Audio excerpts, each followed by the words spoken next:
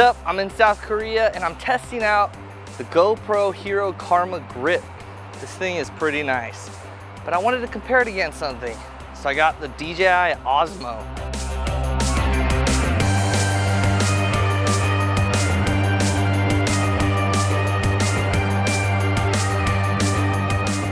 The big difference is price. This one is $7.99 and it comes with the GoPro Karma drone.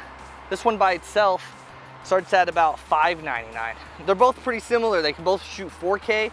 They both uh, shoot HD, but they also have differences that to some might be a deal breaker. For example, the DJI Osmo has a controller on it, like a joystick type grip. You can point it at what you want. The GoPro Hero though is definitely a lot quieter. There's no sound at all, where the DJI Osmo by itself makes a lot of sound. Listen, listen, listen. Osmo, GoPro. Big difference, big difference. Another big difference is that the Osmo uses your phone as a monitor, where the GoPro has a monitor built in. I definitely like that because it's less to think about.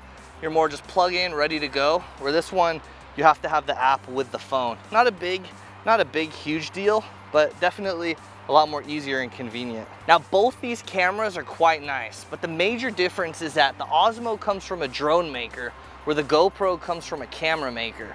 Now, depending on what ecosystem you're already locked into, if you're using all GoPro stuff, if you're using all DJI stuff, it might just be easier to go with either or. The major selling point of these gimbals is that they stabilize your shots. It's a handheld steady cam, that's what it comes down to.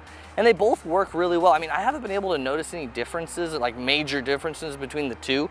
Like they both do what they're advertised to do. And they both come with different accessories that you can use it on your bike, you can put it on your car, you can do whatever you want to do.